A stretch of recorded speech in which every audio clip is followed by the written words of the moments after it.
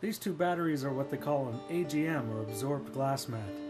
They give about 300 ampere hours each, total of 600 ampere hours for the two of them, which is roughly 9600 watts sitting there at my feet. I decided to mount a 600 watt power inverter and uh, when the power does go out I just run it into these two batteries and my system can run for approximately two days.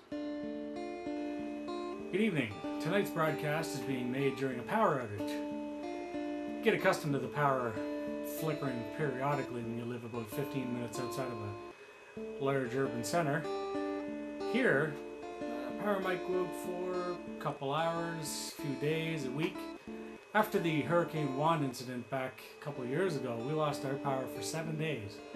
Since that time, we've lost our power a number of times for few hours, like, you know, five, six hours, or three or four days at a time.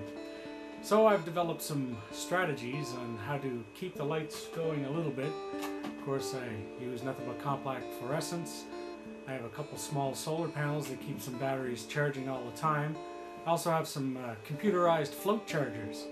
So, although tonight's broadcast is a little darker than most, the lighting isn't that great. I mean, Running a little 35 watt halogen and a 15 watt compact fluorescent back there. And I showed you the 300 ampere hour Sprinter batteries on the floor there, hooked to my 600 watt power inverter. That keeps the computers running, or usually when the power's out, I only run one computer for a little while. And I do broadcast on FM out here at uh, 105.5 FM. If you're in the uh, Tantallon Hubley area, you can hear it at 105.5.